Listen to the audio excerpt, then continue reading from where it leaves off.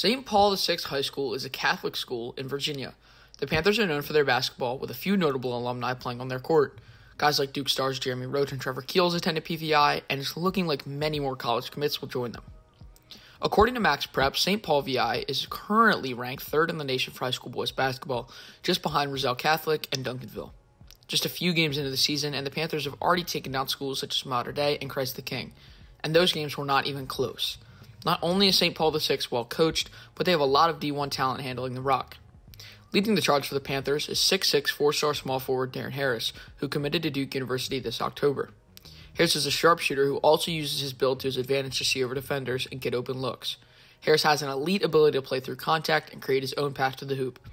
Harris is a good passer as well as has a good potential when it comes to rebounding the ball at the collegiate level with Duke in the ACC. Next up, we have 6'4 four star small forward DeShawn Harris Smith, who's a senior. DeShawn Harris Smith committed to Maryland Terrapins earlier this summer. Smith is known by his teammates as a guy who plays hard. Despite his size, he is a fantastic rebounder as well as working well in transition. Smith can shoot the ball if need be, but has a knack for getting to the line through the lane. Smith will be a huge part of St. Paul VI's season this year, as well as a big help for Maryland next year.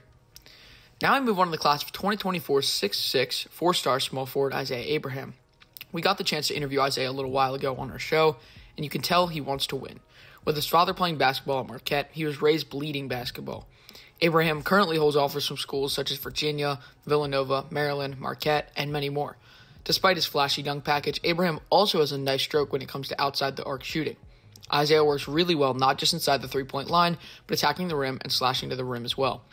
Look to Isaiah to be a big role for the Panthers as a junior this year, as well as a high level recruit in the 2023 season as a senior. The first and only big man we will be discussing is class of 2024 6'10 four star center Patrick Ngongba II. Ngongba transferred to Paul VI this year and is actually cousins with four star Isaiah Abraham, who, just talk, who we just talked about. Ngongba has picked up offers from schools like Iowa, Kansas State, Georgetown, and more. Ngongba is a glass cleaning big man who can block shots as well as go to work offensively in the post. Patrick will be a great player not just this year, but also his senior season next year as well, with his cousin Isaiah leading the charge for the Panthers.